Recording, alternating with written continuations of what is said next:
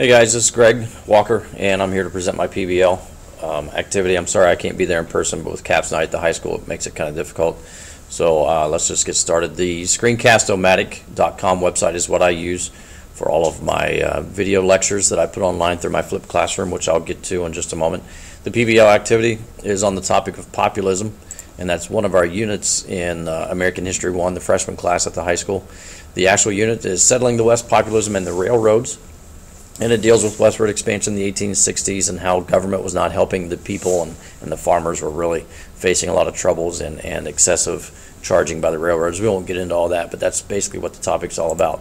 A DBQ is uh, what we call a document-based question. Um, because of the flipped classroom model, I'm able to have a lot more time in class to do uh, fun items and in-depth items. Kids can actually learn a little bit more on specific issues. So what a DBQ does is it takes an overall theme, like populism, and then you explore a major issue on that topic.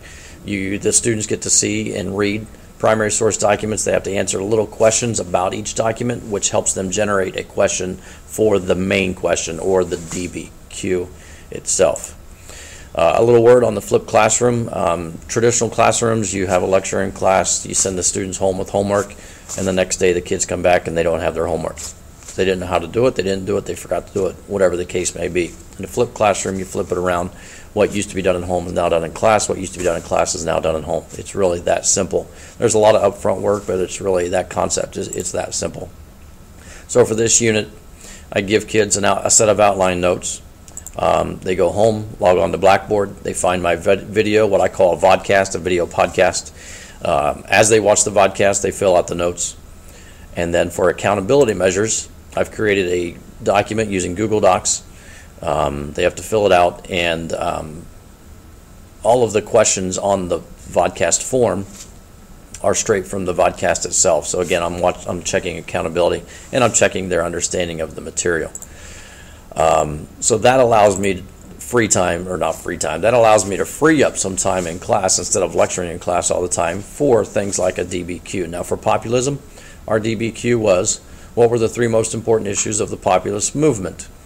So the kids have the background knowledge after watching my podcast, and then they come back to class and we do this DBQ where they have certain primary source documents about the topic, about the issue. They have to answer the many questions, and then this particular DBQ required students to put their answers in a trifold brochure format.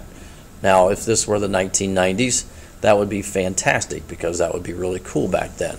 Um, but today, with all of the technology that we have, doing a trifold brochure is almost as much fun as, well, that.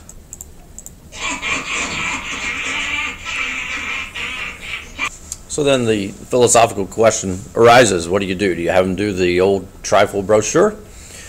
Or do you incorporate some kind of technology? So what happens? Well, PBL to the rescue. On a bright, shining flash of light, it all came to me give the students a choice, form small groups, let them collaborate, let them create, and then, of course, they have to present. And most of my kids like to get in front of a camera, and a lot of them wanted to do um, presentations on on camera. So that's what we do.